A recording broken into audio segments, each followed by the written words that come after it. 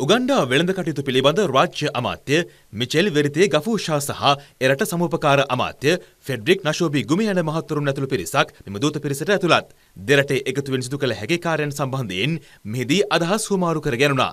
සුළු කර්මාන්ත නගා සිටුවීම සහ උගන්ඩාවේ ක්‍රියාත්මක සමූපකාර ක්‍රමය පිළිබඳවද මෙහිදී අවධානය යොමු කෙරුණා.